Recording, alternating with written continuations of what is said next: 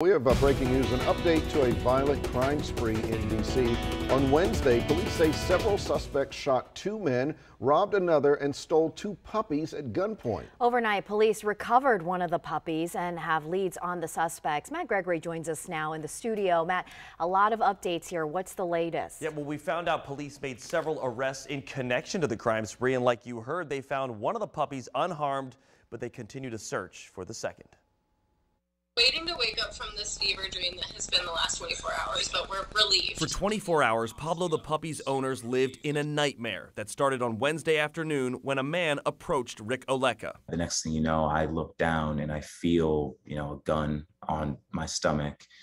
Um, and the guy is saying, hey, let me get your dog. Rick says the men took Pablo and sped off, but that was only part of the crime spree. According to police, the same gang robbed Jamaica Harvey's boyfriend of her 14 month old French bulldog, Bruno. They asked for his dog, they showed a gun, and he wasn't really willing to put his life against the gun, so he just let him know, hey, take the dog. After that, police say they shot two men on 4th Street Northeast and robbed another man of his shoes at 2nd Street Northeast all in less than an hour. Fortunate to be alive um, and to have not been hurt in that altercation. But Thursday evening, police seem to have cracked the case. They made several arrests related to the spree, and at one home, they found Pablo, who spent Thursday evening back with his family.